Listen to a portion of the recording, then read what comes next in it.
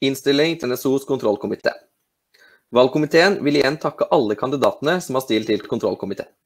Valgkomiteen har i sin innstilling hatt fokus på variasjon i erfaring og geografisk spredning. Valgkomiteen har ikke hatt mulighet til å vurdere kjønnsbalansen i komiteen.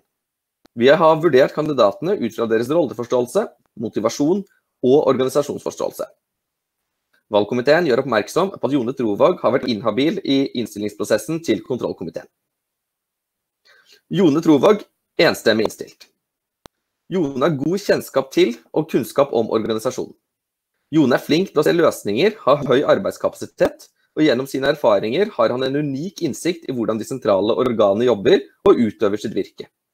Jone reflekterer rundt hvilken rolle kontrollkomiteen skal ha i organisasjonen, og hvordan rollen kan utvikles videre. Valgkomiteen er trygge på at Jone vil være et godt tilskudd til NSOs kontrollkomité. Rune Kauske Kosaka, enstemmig innstilt. Kauske har gjennom flere forskjellige verv i og utenfor NSO opparbeidet seg god kjennskap, kunnskap og innsikt i hvordan organisasjonen og rollen som kontrollkomité fungerer. Kauske har fremtidsrettede visjoner for kontrollkomiteen, og er tydelig på hvordan han mener kontrollkomiteen kan utvikle seg positivt og bidra i organisasjonen.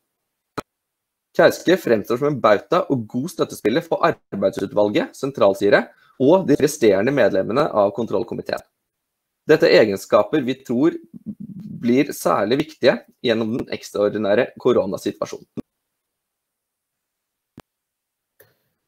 Avslutningsvis, valgkomiteen Ønsker å takke Takke alle. Alle Vi ønsker alle kandidater lykke til. til på det digitale landsmøtet. landsmøte Kan vi, kan vi ta den en gang til, 100% perfekt. Nailed it.